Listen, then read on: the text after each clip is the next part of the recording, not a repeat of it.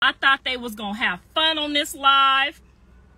I thought that was going to be a good live, but that spirit on that baby is not going to let her have no good moments. And y'all need to stop hoping and praying and wishing that she pregnant so she could be tossing a baby around. She picked that vase up and broke that glass without no reservation.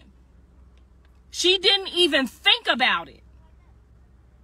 And that is not all her fault, but some of that, y'all gonna have to help hold her accountable. Her family member, somebody. She's snapping. Yes, that was a snap. And we've all been there. But some, most of us got mamas or daddies that we can call. Get tough and times get hard and your mama and your daddy will say, go back out there. You're to be all right. And they encourage you and they inspire you and they motivate you. You got a little bit more in you, baby. And she ain't getting none of that.